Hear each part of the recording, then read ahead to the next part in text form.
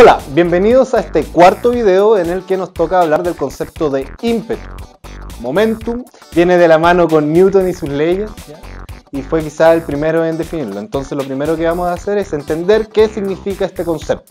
Imaginemos que una mosca y un elefante están corriendo, bueno en el caso de la mosca volando, con la misma velocidad. Eso quiere decir que ambos recorren la misma distancia en el mismo tiempo. Ahora imaginemos que yo me encuentro en el camino de ambos, en su trayectoria. Es evidente que la interacción con la mosca será apenas perceptible. En cambio, la interacción con el elefante podría llegar a ser desastrosa.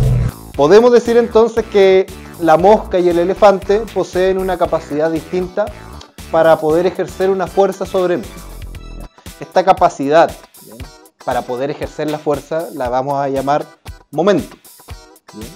O ímpetu.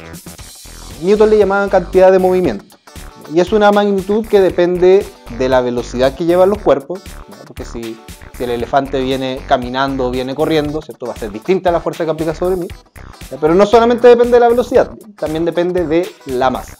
Así que vamos a definir el momentum como una magnitud vectorial que depende de la masa y de la velocidad. Ahora, si imaginamos un cuerpo que se mueve eh, con una velocidad que es constante y además el cuerpo tiene una masa que es constante, nosotros sabemos que su momentum es masa por velocidad. Aquí está la expresión.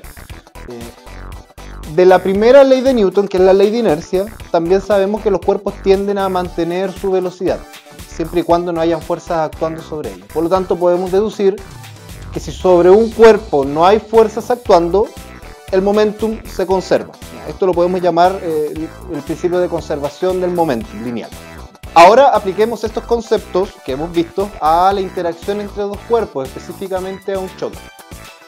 Imaginemos que tengo un cuerpo A con una masa A que se desplaza con cierta velocidad y choca con otro cuerpo B que también se mueve con su velocidad. Así que estos dos cuerpos van en encuentro y pum, chocan.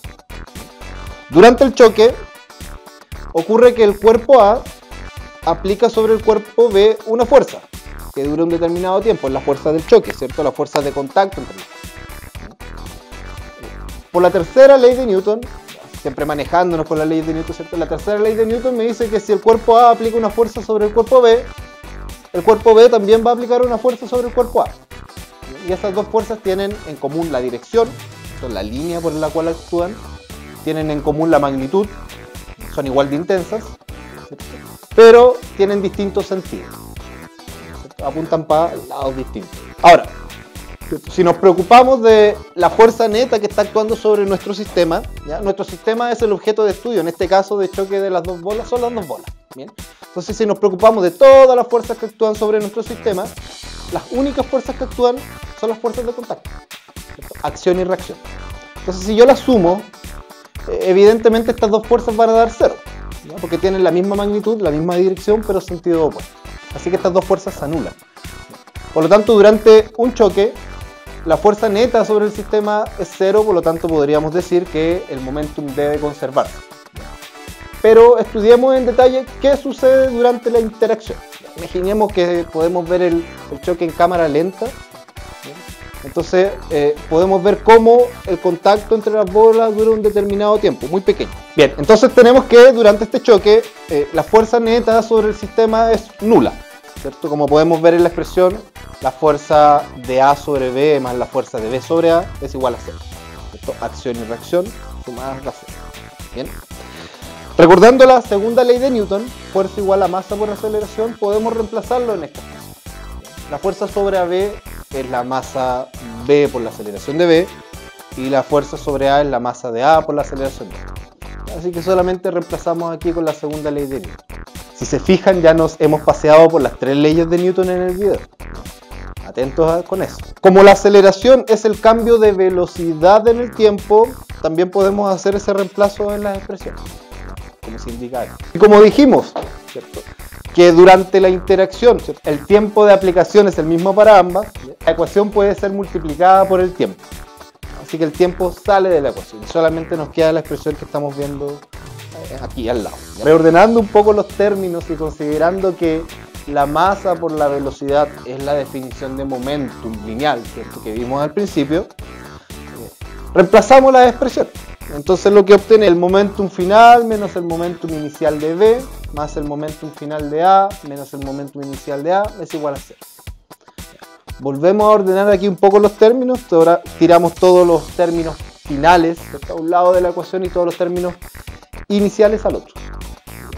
Y así obtenemos que eh, la suma del momentum final B más la suma del momentum final A es igual a la suma del momentum inicial B más la suma del momentum inicial A.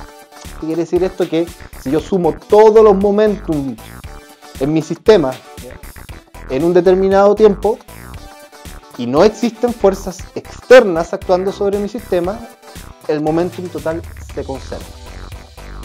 Por ejemplo, en el caso de nuestro choque, Yo sumo el momentum de A, el momentum de B antes del choque y eso debe ser igual al momentum de A y al momentum de B después del choque. ¿Quiere decir esto que A y B conservan su momentum? Evidentemente no. Cuando las dos bolas chocan, eh, puede ocurrir que una se quede en reposo mientras la otra avance, puede ocurrir que una rebote con menor velocidad mientras la otra salga disparada hacia otro lado con otra velocidad. Así que en general, durante un choque, el momentum de los distintos objetos cambia. Pero lo que se mantiene constante es la suma de todos los momentos. Por lo tanto, para concluir, si en un sistema, en un objeto que ustedes están estudiando, no existen fuerzas externas, fuerzas aplicadas ¿cierto? sobre mi sistema, el momentum lineal total de mi sistema se conserva. Entonces, estas leyes de conservación son leyes importantes porque conociendo el sistema en este momento,